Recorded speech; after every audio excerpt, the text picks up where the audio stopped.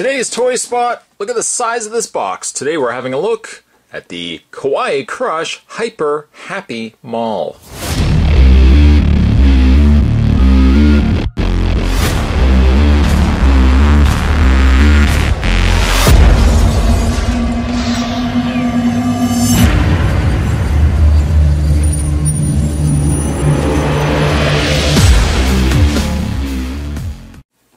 You get a whole wall of, a whole mall, a whole mall of splendor and delight.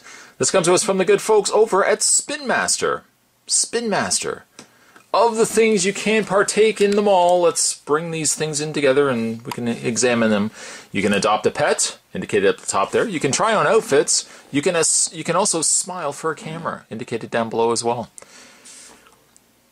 Um, it also features a working elevator, as you see right here as well. And turn around the back of the box. On the back of the box, my adorable pets get styled while I visit my stylist at the Fashion Boutique. It's the highlight of my shopping trip. It's a picture perfect day at the photo booth. Say cheese. Oh no, now I want a cheeseburger. Now I want a cheeseburger. And as you can see, there's some really neat artwork featuring all the characters of Kawaii Crush. Someone's apparently grabbing a bite to eat. Over here, somebody is in the photo booth. Someone down here, way, way down there, someone down there is about to ring through someone's purchases. Could it maybe be this girl right here? This one right here. To check out more, you can go also go to www.kawaiicrush.com. This is more a review for the little ladies out there, the little ladies that have been enjoying things from Kawaii Crush. So what Spot's going to do is he's going to take a break. He's going to get this opened up. Uh, you're excited, I know. To get this opened up, and when we come back, we're to get a better look at the Kawaii Crush Hyper Happy Mall. Don't go anywhere. Stay tuned.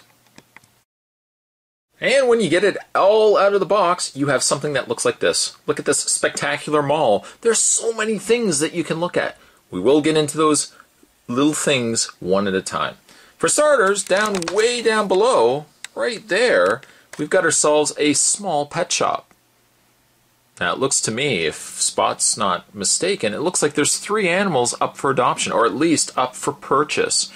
We got ourselves down below, way, way, way down below. I think he's sleeping. Shh. Oh no, he's not sleeping. No, he's still he's awake. Don't worry. We got ourselves a little tiny kitten. Look how small this little tiny kitten is. This kitten, if you ask me, I think this kitten needs a home. I would call this kitten Mr. Bojangles. Mr. Bojangles, I would call this kitten. He does come out of his little bedding. Looks like his little bedding is made out of spaghetti, but it's not. It's probably like a ball of yarn or it's like a little one of those expensive European beds. There's the little kitten inside. He's got his hands up to his head, thinking to himself, "Hmm, if only I could have a home. Would you like to give me? Would you like to give me a home?" I would, Mr. Bojangles. I really would. I really would, actually. Put him back in his bed. I think we're quiet enough. He probably will go back to sleep. And just put him into his little section right there. You'll also notice, I don't know if you can tell. Let me zoom down here each of the little animal sections have a corresponding little home. So you'll see that he actually has a little climbing perch. There's a little ball of string right there. Who are these animals? Well, let's get into those guys immediately. We got ourselves a little tiny bird. So small, Spot's large adult hands are having a tough time holding on to him. Oh no, sorry, it's not a bird. What's Spot talking about? That's a rabbit, indicated by the fact that there's ears. Ears. That rabbit would also explain why he's got a little bed or a little house that looks like a carrot. That would make no sense, and I'm sure you guys, you girls out there, are probably thinking Spot's being really silly for even calling it a bird in the first place. I acknowledge that as well. I think the house can fit, yes, it can fit inside his little home, his little den. Take the little rabbit and put it in, put him inside there. Maybe he's going to take a nap as well. We'll put him right in there. He also has what looks to be like a little dish, perhaps for his drinks. Water, of course, or carrot juice. And lastly, in the little den of animals, little critters, we got ourselves a little dog or sheep. It could be a sheep, although I don't know if you would really want a sheep for a pet. Little tiny animal. You know what? I'm going to just assume that's a sheep. It looks like a sheep. It's cute like a sheep. Going to put him up. Although really, he comes with a uh, he comes with a fire hydrant, so methinks that's probably a dog. Little tiny fire hydrant comes with this dog. It's a poodle. That's what it is. Ah, you see, Spots. Spot's a little slow sometimes, but Spot eventually gets it. Comes with a little fire hydrant, though. I would hope not to use for bathroom use. This would only be a play fire hydrant. Don't get any ideas. Little puppy dog. You also get yourself a little brush for the dog, or really for any of the characters in Kawaii Crush as well. You know what? It's large enough. We'll keep that aside. We'll keep that aside. Having a look at the figurine that comes with it. This is Holly Molly, if I'm not mistaken. Holly Molly. This is her shop, after all, right here. She's got a little clothing shop. And I gotta say, this girl knows how to dress. She knows how to dress. Speaking of dress, one cool thing about the um, Kawaii Crush characters are that you can dress them up. Now, if you look over there, no, no, no, no, no. If you look over there, you can actually take off. I hope you're looking over there. You can take off the dress like so. It's actually just a rubbery dress, and it kind of has an opening in the back there. Um, in this form, the dress, well, actually, the figurine actually has a lot of movement. There's a ball joint in the head, which allows the head to move left and right, up and down. Um, no articulation in the arms, but there is a swivel in the waist, like so. She does also have the option to take her shoes off, like currently right now she's got some really sporting. Let me bring the camera in so you guys can see, as Spot's hands are ginormous apparently in this review. She does come with these little tiny sneakers, these little little Nikes, perhaps. Maybe they're Converse, but they slip right into her feet, just like so. That's how shoes work. You just take your foot, slip it inside, boom, just like that. A relationship has formed. You, your, your feet and shoes. You can't take these shoes off and walk with me for a second as we walk over here. She does have several other garments of interest now, I don't protest to know much about fashion. I really do. But for maybe for other people might not feel like Spot's got a lot of knack for fashion. But she does have a couple of different garments. I'll just put her down for a second. And let's have a look at the little rack of garments that she comes with. She does come with a hat, right there. A little smiley face on the hat. And she does also come with a few hangers. Hmm, what am I going to wear today? She's kind of got a spring dress something a little more formal. Both easily come off the hangers. Little slit on the back. And, put that down, she does also come, there's a little mannequin on the side that has another dress. Now, I don't know about you, but I kind of think this dress is a nice dress for her to be wearing. This dress right here. Zoom in. Uh, zoom in. Eh? There we go. I like this one also because there's some animal prints on it. So what we can do, we're going to get her dressed up. I think she's going to get herself a bite to eat, and then she's probably going to be on her way. I'm just going to put the dress on the figure's body, like so. Get it around the arms. There we go. Just like real life. You can also take the hat off, which currently is a little. I'm gonna. I uh, originally said little sheep, but we now know it's a dog. Little dog hat. She looks really nice without the hat. She's got this nice purple hair. But she also has this. This says to me style. So I'm going to actually put it on. On the side, because that says cool to me. You could really put it on in the front like that, like so. Or you could probably put it on the side like that.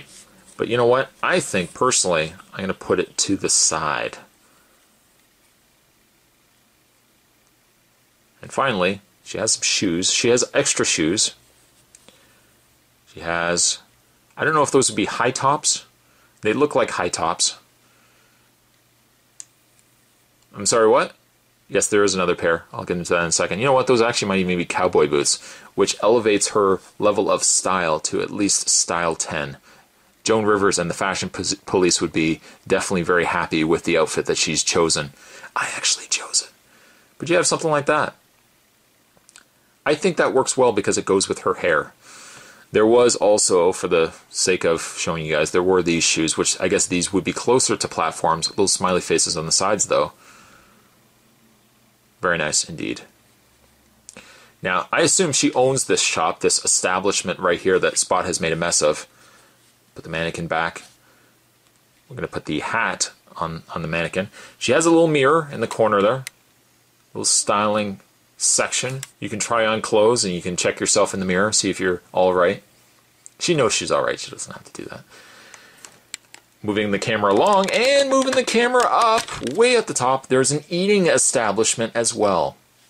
If you ask me, this is a happy meal. Look how happy the, this food is.